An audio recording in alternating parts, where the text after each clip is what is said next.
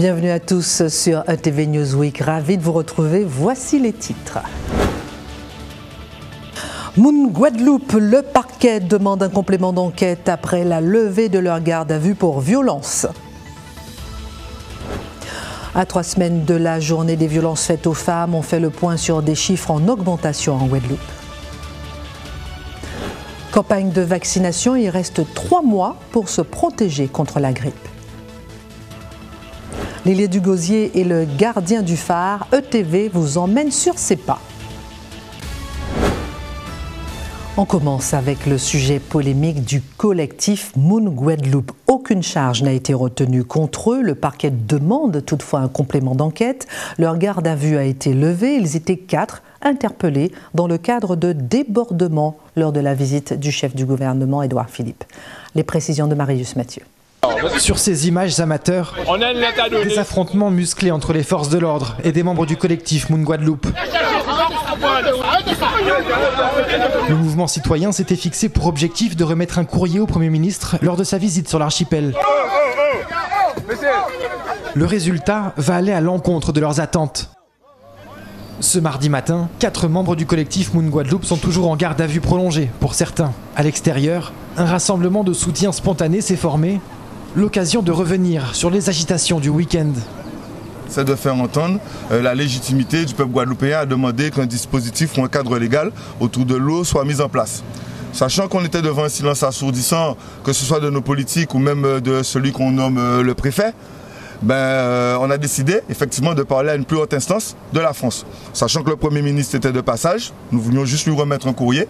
Donc alors pour ce même courrier, on a envoyé la grande cavalerie, on a tiré sur nos LBD, on nous a mis en joue avec des fusils, on a euh, matraqué des gens euh, jusqu'au sang. Donc en fait, on voit bien qu'ils sont en train d'essayer de, faire taire le mouvement citoyen Moun Guadeloupe, d'essayer de, de nous blesser, de nous faire mal physiquement et de nous attaquer aussi juridiquement. Pour la plupart des personnes devant le commissariat, les arrestations sont incomprises. Tous engagés pour dénoncer les conditions de vie des Guadeloupéens, ils déplorent aujourd'hui un manque de considération. Si toutefois ces problèmes ne sont pas résolus en temps et en heure, c'est nous qui mourrons. Vous voyez très bien en ce moment ce qui se passe au niveau de l'eau.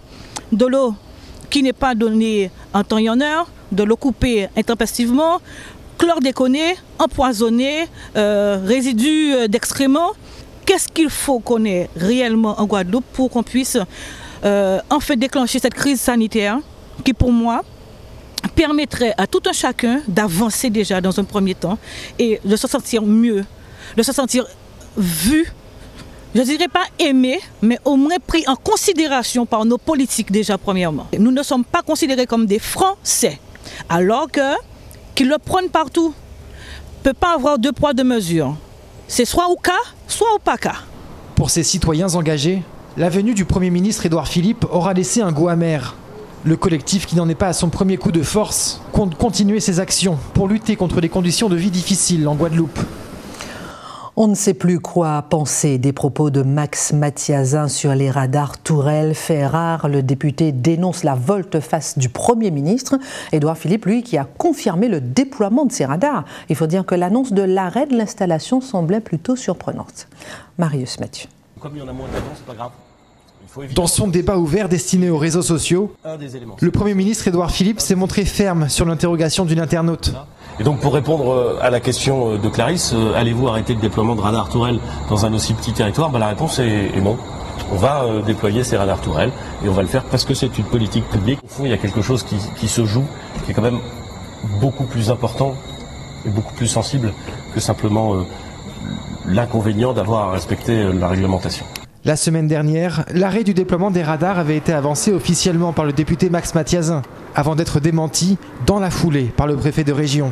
Une situation inconfortable pour l'élu qui siège à l'Assemblée nationale. Avec des propos mis publiquement en doute, le parlementaire maintient et justifie sa version dans une conférence donnée ce mercredi matin. La conseillère parlementaire de Christophe Castaner m'a informé, entre autres, de la suspension du déploiement des radars pour elle. Je dis bien suspension d'une réunion avec tous les élus après la visite du Premier ministre en Guadeloupe, ce qui avait déjà été acté avec Monsieur le Préfet.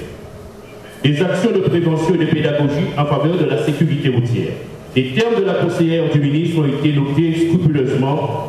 Implantation des radars tourelles stoppée mesure conservatoire de suspension. Une manière pour le député de tenter de prouver que ces déclarations ne sont pas fausses? Il dénonce un changement brusque et total d'opinion de la part du gouvernement. C'est de faire savoir aux Guadeloupéens que ce n'est pas ma parole qui doit être mise à mal, mais c'est la parole de l'État, et de dire que je voudrais savoir ce qui s'est passé dans les 1h10 qui se sont écoulés entre le moment où je fais mon communiqué pour informer les Guadeloupéens et par l'intermédiaire de la presse, et, 21h28 quand la nouvelle indication arrive par un nouveau mail. Le déploiement des radars tourelles continuera en Guadeloupe selon le gouvernement. Le député Max Mathiazin continuera de s'opposer à cette mesure, préférant entre autres la prévention et l'amélioration des réseaux routiers pour faire progresser la sécurité routière. La journée contre les violences faites aux femmes aura lieu le 25 novembre. Les chiffres sont en augmentation en Guadeloupe. Une conférence a été organisée cette semaine sur le sujet. Marius Mathieu. Le chiffre fait froid dans le dos. En France, une femme meurt tous les deux jours sous les coups de son conjoint ou ex-conjoint. Ici en Guadeloupe, le nombre de femmes victimes de violences s'élève à 1134 depuis janvier, selon les services de gendarmerie. Des statistiques en hausse par rapport à 2018 qui ont conduit Tania Galvani à organiser une conférence débat sur le sujet. Pour l'avocate et conseillère municipale de l'opposition à Pointe-à-Pitre, cette violence est un fléau social à combattre. Il faut savoir que nous en sommes au 125e féminicide euh, depuis le début de l'année. Ce sont des statistiques à l'échelon national, mais malheureusement, la Guadeloupe n'échappe pas à ce fléau. Donc il était important eh bien, de continuer à se pencher sur cette question, à réfléchir ensemble à des solutions. En fait, ce que je souhaite, c'est faire un état des lieux, c'est-à-dire en Guadeloupe, où en sommes-nous de la lutte contre les violences faites aux femmes? Puisque les, violences faites aux femmes, ça recouvre vraiment un panel très large. Parce qu'on entend souvent parler des violences conjugales, mais ce n'est pas seulement ça. On peut penser aussi au viol, on peut penser aux violences psychologiques. Donc il y a vraiment un large panel. Donc où est-ce qu'on en est de la lutte contre toutes ces violences dont les femmes sont victimes, premièrement? Et deuxièmement, eh bien, que faisons-nous? On commence à réfléchir, on poste des pistes de réflexion, de solutions pour demain. On essaie de bâtir quelque chose pour l'avenir. La conférence sur la lutte contre les violences faites aux femmes en Guadeloupe se tiendra jeudi soir au centre culturel Rémi Ninsouta à Pointe-à-Pitre. L'entrée sera libre et gratuite. De quoi briser le silence sur ce sujet encore tabou? Et maintenant, parlons de cette campagne pour inciter les femmes à faire de la politique. C'est plutôt rare de voir ce genre de campagne, mais avouons qu'elle a le mérite de sa particularité. Voici les précisions de Marjorie Nadal. Depuis deux ans, Axel Collandjean ne quitte jamais son ordinateur des mains. C'est en laissant un poste de directrice de communication en politique qu'elle décide de lancer sa propre plateforme numérique, Caribbean Boss Lady. Un pur player qui encourage les femmes caribéennes à assumer et affirmer leur leadership. Depuis, elle cumule les 30 000 consultations du site par mois on met le doigt là où ça fait mal. S'il y a des femmes, mais aussi des hommes qui nous suivent aujourd'hui et qui interagissent avec nous, c'est qu'ils se rendent compte qu'il y a quelque chose qui ne va pas forcément dès lors qu'il s'agit euh, de place de femmes dans nos sociétés caribéennes. Ce succès immédiat l'a poussée à aller encore plus loin. Avec la journaliste indépendante Mylène Colmar, elle décide de créer en 2018 Objectif Boss Lady, un site d'analyse d'informations avec un angle toujours féministe, avec l'aide d'émissions et de podcasts, elles invitent les femmes à entreprendre dans toute la Caraïbe. Il faut oser briser tous les plafonds de verre, qu'il faut oser s'engager, euh, oser faire mentir le sort et les déterminismes afin de pouvoir apporter quelque chose de différent dans cette société guadeloupéenne qui a tant besoin de nous, qui nous accepte, nous femmes, quand on est dans le milieu familial, entrepreneurial, mais qui a encore du mal avec euh, les femmes en politique, bien que nous ayons des exemples, hein, tels que Gertie Archimède, Madame Borel Incertain, mais quand il s'agit de distribution de portefeuilles, de délégation, eh bien, euh, ces messieurs ont toujours tendance à reléguer les femmes comme petites mains ou encore euh, à les faire œuvrer dans la culture, le social. Alors, depuis deux semaines, elle a décidé de lancer une campagne de sensibilisation à l'engagement politique des femmes. Ce mouvement, Elle s'engage, s'inspire de personnalités telles que la sénatrice Victoire Jasmin ou encore la députée Justine Bénin. Les municipales approchant, elle souhaite transmettre un message. Faisons de la politique à la maison quand nous avons des enfants. Nous sommes négociatrices. Nos premiers administrés sont nos enfants. Nous sommes négociatrices. Nous gérons le budget. Nous faisons face à l'adversité. Nous faisons preuve de créativité. Comme disait Michelle Obama, ne laissez personne personne parler pour vous. Dans deux semaines, la plateforme caribéenne Boss Lady sera présente à Abidjan, en Côte d'Ivoire, pour l'Africa Web Festival. La campagne de vaccination contre la grippe saisonnière a commencé le 15 octobre et se terminera le 31 janvier 2020 dans l'Hexagone, en Martinique, en Guyane et aussi ici, chez nous en Guadeloupe. Il est conseillé de se faire vacciner pour les plus fragiles, même si ce n'est pas obligatoire. Rappelons que 3000 personnes décèdent chaque année en France à cause de ce virus de la grippe. Marjorie Nadal. Le quotidien de Rosémé est perturbé aujourd'hui. Depuis quelques semaines, la campagne de vaccination contre la grippe a commencé et elle a décidé d'y participer sans appréhension. Ah non, moi, je ne suis pas faire du vaccin, moi. Eh ben alors. Je vais faire sur ce bras-là, ça te va? Oui, allez-y, allez-y. D'accord. Fais ton travail, ma fille. À 89 ans, elle fait partie des personnes jugées vulnérables à la grippe. Son vaccin est alors entièrement remboursé. C'est l'affaire de quelques minutes et le verdict est sans appel. Je n'ai même rien senti, moi. J'ai rien senti. Fièvre, courbature, écoulement nasal, la grippe frappe chaque année. Le virus est en perpétuelle mutation et le vaccin est donc sans cesse révisé. Comme Davida, il est ainsi conseillé de le renouveler. Tous les ans, ce vaccin, on le prend. C'est pour empêcher d'avoir la grippe. Mais je n'ai jamais la grippe aussi. Chaque année, le virus touche jusqu'à 8 millions de Français. Les plus de 65 ans représentent 5 à 11% des cas, mais la quasi-totalité des 2000 décès annuels liés au virus. C'est une infection virale euh, grave et qui peut euh, se compliquer très rapidement. Qui dit personnes âgées dit polypathologie, diabète, hypertension, etc. Et du coup, en fait, c'est le fait d'avoir la grippe qui va euh, accentuer ces pathologies qu'ils ont déjà. Voilà. Et, euh, et du coup, quelquefois, malheureusement, entraîner la mort. Cette maladie est très contagieuse. Il est alors important de consulter immédiatement son médecin dès le début des symptômes. Victime d'homophobie, une ligne d'écoute téléphonique est mise en place à partir de ce week-end avec une quinzaine de bénévoles disponibles 24 heures sur 24. Marjorie Nadal a suivi leur formation. Des questions, les bénévoles de l'association Amalgame Humanis en auront pendant cette formation de trois jours. D'ici peu, sera ouverte la première ligne d'écoute anti-homophobie et transphobie de Guadeloupe. Les futurs interlocuteurs sont alors attentifs aux moindres conseils pour pouvoir gérer les appels à venir. C'est que vraiment les gens puissent parler, puissent s'exprimer, puissent aussi euh, débattre, parce que certains ne vont pas être d'accord, c'est ça qui est intéressant, et qu'ils puissent, bah, de par ce désaccord-là, faire naître quelque chose euh, qui sera un vrai accord beaucoup plus global. Outre les apports théoriques comme le droit des LGBT, cette formation fait appel à la pratique, comme ce jeu de rôle comprenant une histoire fictive. C'est une jeune fille de 17 ans euh, qui euh, reconnaît qu'elle a des attirances pour euh, d'autres femmes, mais qui ne souhaite pas en parler à son entourage, qui a très peur des réactions des uns et des autres. Euh, et qui a besoin de parler. Et l'intérêt de ce jeu de rôle, si je le propose en tout début de formation, c'est que ça fait uniquement appel à leurs euh, compétences d'écoute. Il a pas, euh, cette jeune fille, elle n'est pas en demande de réorientation, elle veut juste parler à quelqu'un. En Guadeloupe, le sujet est particulièrement sensible. Depuis ses 10 ans, Maëlle se sentait mal dans sa peau jusqu'à ce qu'elle décide de changer de sexe à l'âge adulte. À cette période, elle aurait aimé avoir une oreille attentive, alors aujourd'hui, elle n'a pas hésité à devenir bénévole. Moi, durant ma jeunesse, je n'ai pas eu l'opportunité d'être écouté, euh, d'avoir des échanges. J'étais isolé et seul. C'est pour ça que je veux participer à cette ligne d'écoute. Et je suis là pour surtout pour apprendre, apprendre à écouter, apprendre euh, des autres et pouvoir échanger également. Cette ligne, intitulée Voix arc-en-ciel, sera active 24 heures sur 24 et 7 jours sur 7. Elle n'est pas encore ouverte et pourtant, elle libère déjà certaines paroles.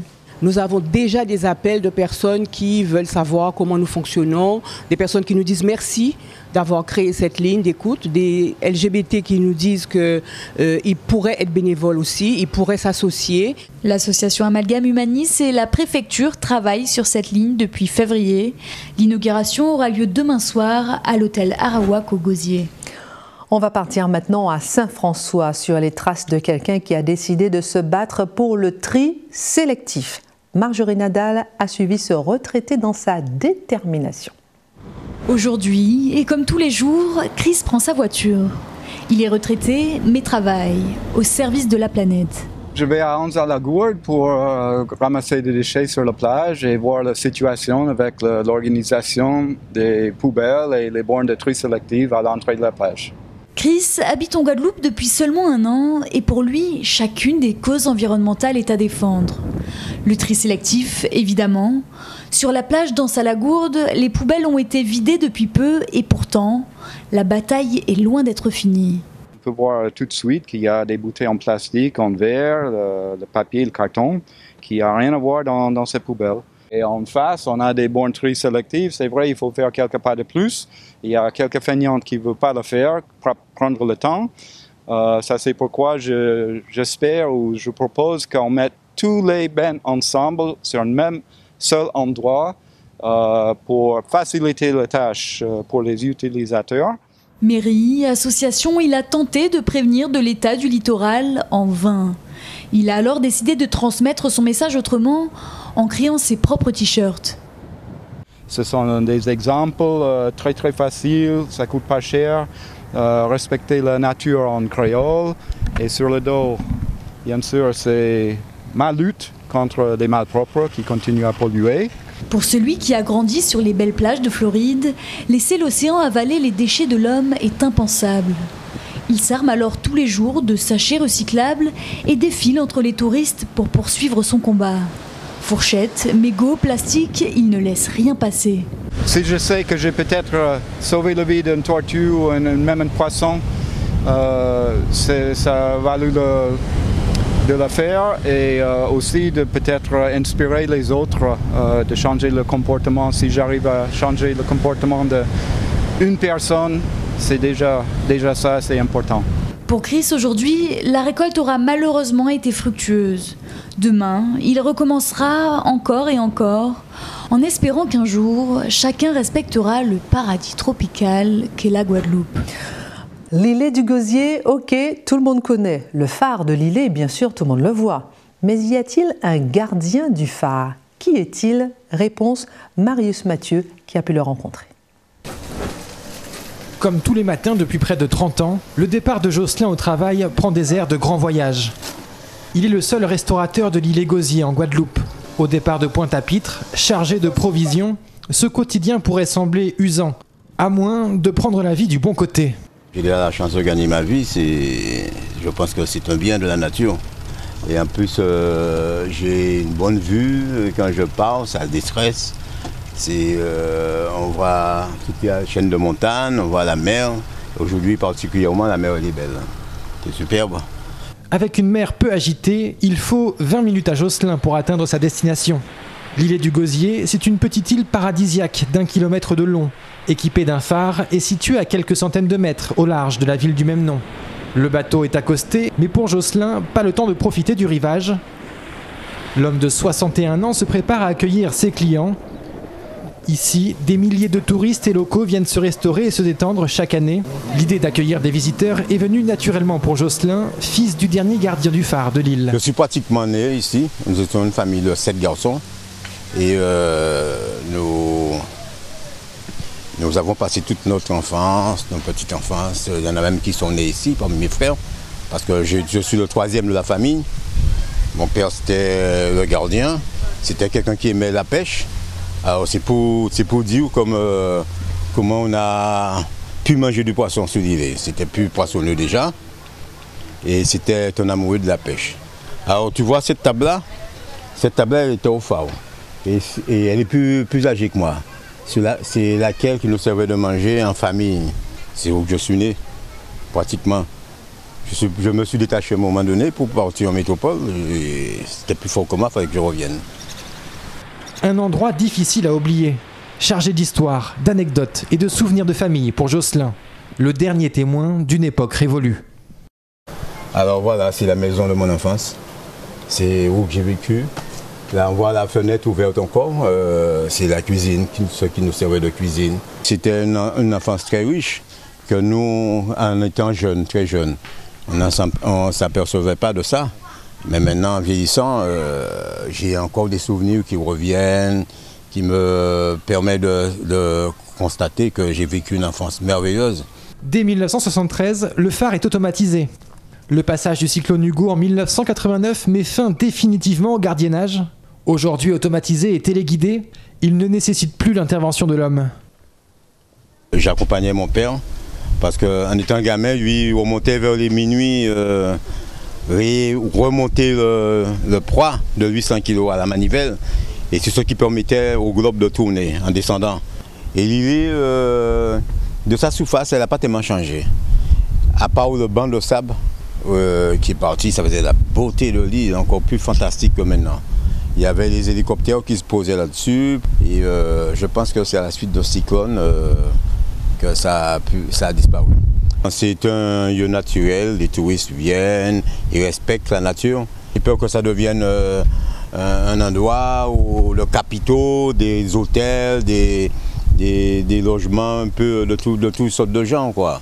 Ou, euh, bien le, le Guadeloupéen de, classe moyenne ne puisse pas participer euh, et au bénéfice que se porterait cet endroit. Ça, ça me fait peur. L'île Gosier est depuis 2003 sous la protection du Conservatoire du littoral pour assurer sa préservation future. Un moindre mal à espérer pour cet endroit encore sauvage où le temps semble s'être arrêté. Voilà, c'est la fin de cette édition. Merci de l'avoir suivi. Excellente semaine sur OTV.